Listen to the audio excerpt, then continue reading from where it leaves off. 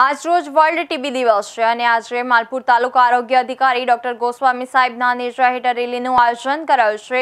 આ રેલીમાં આરોગ્ય કર્મચારી, આશા સ્વયંસેવકો, આંગણવાડી કાર્યકરોએ ભાગ લીધો છે અને ટીબી હારેગાના, દેશ જીતેગાના નારા અને સૂત્રોચ્ચાર સાથે ગામમાં લીમડા ચોક સુધી રેલીનું આયોજન કરાયું છે. જે કોઈ વ્યક્તિ ટીબીને પડકારશે, તેને ભારત સરકાર તરફથી બેંક એકાઉન્ટ હવે તેવા દર્દીને સારવાર ચાલુ રહેશે. ત્યાં સુધી દર મારશે પાંચસો રૂપિયા મળવા પાત્ર રહેશે.